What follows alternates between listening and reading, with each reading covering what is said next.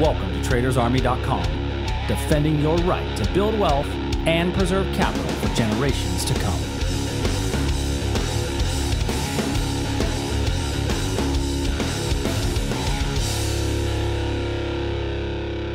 Good morning, everybody, and welcome to today's edition of the Daily Market Commentary. I'm your host, Chuck Fulkerson. Hope everybody had a great trading day yesterday as we are leading into Tuesday. Market is up a little bit this morning after yesterday's uh, pullback that we got.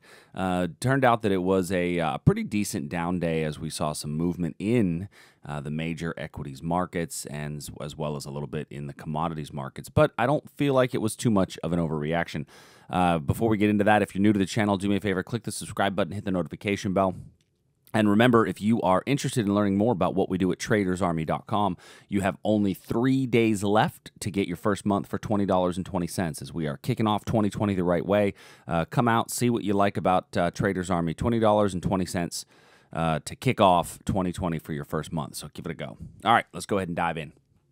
So the ES uh, as I'm looking this morning at its uh, at its level, we're up about 10 points. We were up a heck of a lot more than 10 points uh, in the uh, in the session as the market rallied hard up into the supply level that we identified yesterday. So yesterday we were looking on a 15 minute chart at at uh, at this supply level here, which started at the uh, which started around the European Open for a potential reversal. The market came into that zone, uh, and then this is an example of how kind of kind of the right way to use the six candle rule. We came into the level, and then uh, one, two, three, four, five.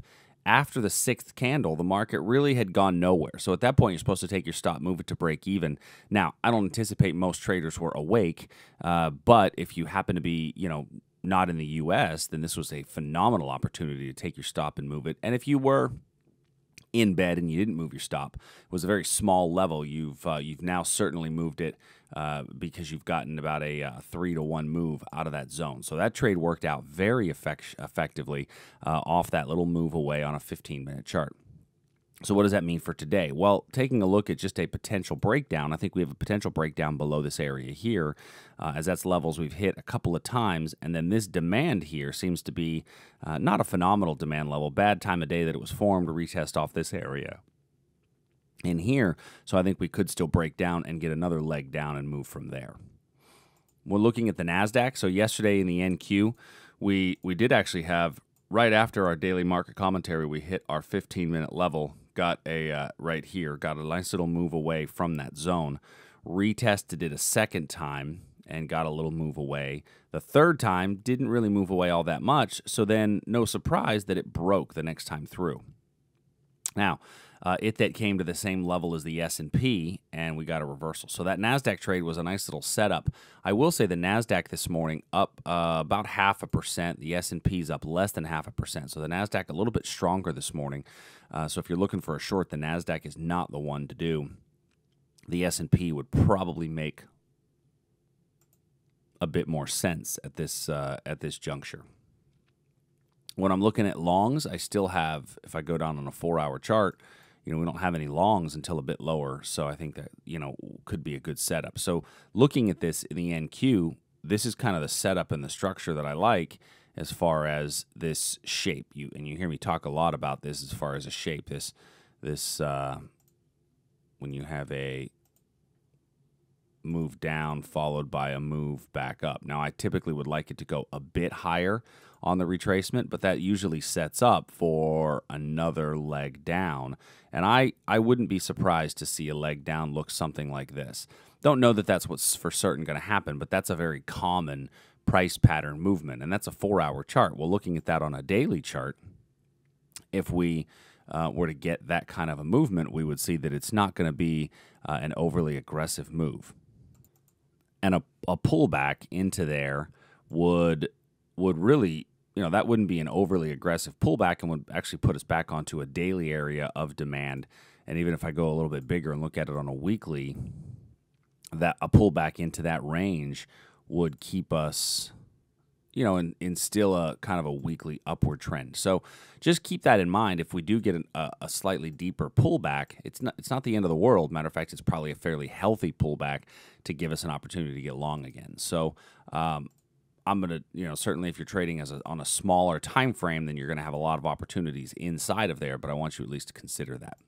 Looking at crude oil, so here looking at crude, we took a look at this level yesterday as a potential breakdown area put an alert there uh, in case we do get a bit of a breakdown as it's just really been chopping sideways in the overnight session. So that one i'll just kind of leave in place. No real changes from yesterday. Uh, and then gold we were looking yesterday in gold as it was kind of pinching along sideways. Uh, we were thinking about a potential triangle pattern as it got one two three four touches. We never really did get the fifth touch uh, before then breaking out of that out, out of that triangle pattern. So this one didn't turn into a triangle because you, you, you got to get five to seven touches for a true triangle pattern. So now we're just kind of waiting on price to make its next move. Um, lower lower highs are telling us that there's, that there's a bit of selling pressure coming in, uh, but there is some supply up above us as well as a little bit of demand down below.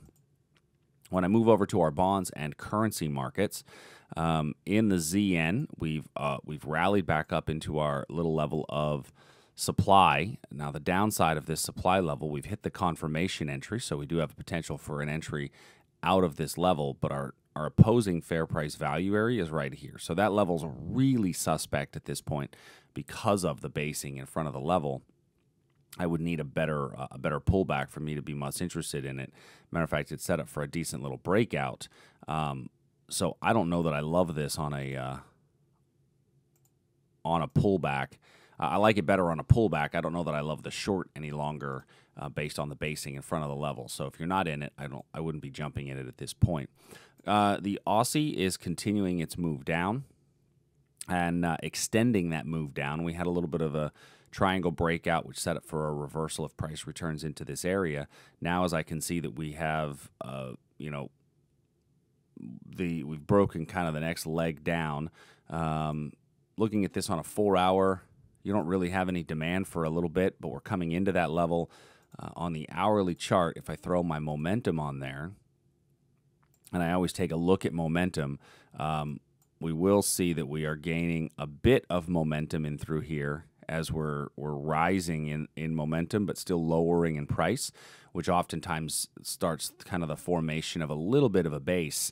And so let's see if that if that happens. I don't have any quality supply levels above me for uh, to lean on at the moment for a short.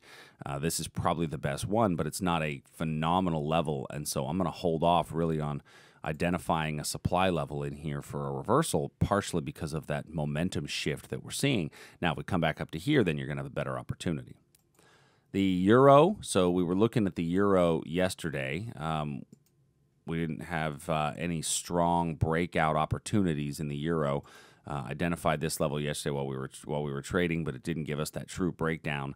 Um, you know, we could still see a breakdown at some point below here with this sideways price action, but it's not a phenomenal one, especially since, I don't have a lot of room to roam having this level below me. Now, this four hour level is actually a pretty good little level. So, you know, I think that there is still a little bit of profit to be had if you want to take the breakdown below that area. Canadian dollar, we got a breakout level identified above this uh, this this 75 893 area uh, in the Canadian dollar, but we didn't get any uh, any full breakout above it to make it worthwhile. So we're still holding off on this one, uh, as this one still has a potential for later today. because uh, our momentum is kind of shifting on the Canadian dollar as well. So in our currencies, not a whole lot to look at when it comes to the currency markets. Uh, when it as far as uh, overall opportunities. Not a whole lot is uh, is jumping out as tradable uh, tradable opportunities. Um, you know, in in any of them, we're looking at here at a potential reversal. Uh, right in there with a target up here at the green and did not come back into this area as of yet so that one's still still very valid although uh, not gotten to it as of yet i would need price to drop a bit further into that into that zone and then the Japanese yen, we're staying away from our levels. So currencies are a snooze fest today, and most of our activity is happening in our equity markets as well as our commodities. But if you have any questions, please, as always, send us an email support at tradersarmy.com. We have our uh, uh, daily market commentary will be out again tomorrow. If you have any questions between now and then, let us know. I will talk to you soon.